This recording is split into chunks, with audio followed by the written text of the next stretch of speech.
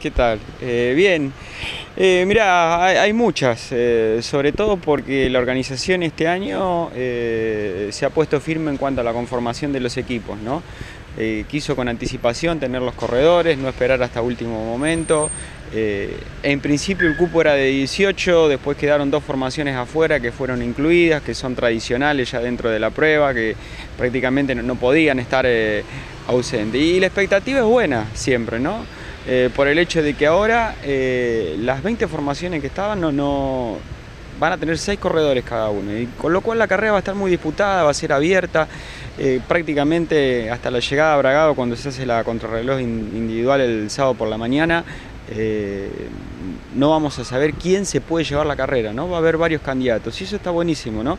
Porque otros años siempre había una figura que sobresalía, que por ahí tenía eh, seis o doce compañeros que tenían por detrás eh, llevándolo y ahora, bueno, este, van a ser varios los candidatos, porque además vienen corredores de distintos puntos del país, no solo bonaerenses, sino vienen desde el interior del país, de distintos equipos, así que va a estar realmente buena. Arranca el próximo sábado. Arranca el sábado en Ezeiza con un prólogo y el domingo llega aquí a Mercedes a las 18.30, eh, que es la finalización de lo que está denominado como primera etapa.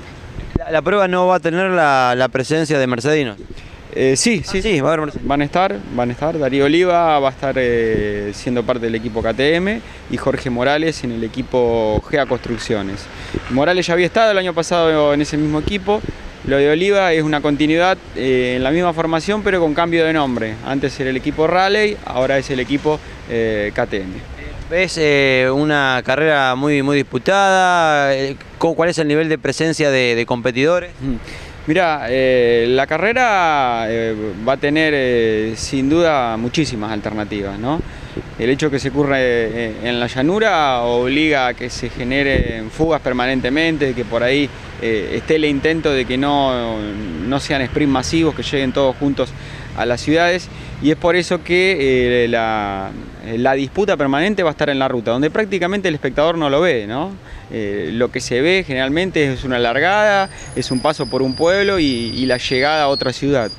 Pero lo, lo, importante, donde se va tejiendo la carrera, es a lo largo de la ruta aquellos mercedinos que la quieran seguir lo van a poder hacer a través de FM La Tribuna, van a seguir como siempre, ya es una tradición de manera completa. Sí, vamos a estar con, Walter Altavista en FM La Tribuna todos los días, desde el comienzo de cada etapa y, hasta el final, eh, desde el sábado 3 al domingo 11 siguiendo la carrera por la 103.5. Me queda una más. La última jornada, cuando termina la carrera el día 11, eh, ¿se parte de Mercedes? Sí, sale de Mercedes eh, a las 10 de la mañana desde Plaza San Martín. Es una, breve concentración que hay ahí en, en, Avenida 29 y ya se van buscando la ruta 5 para el final que será en Lanús.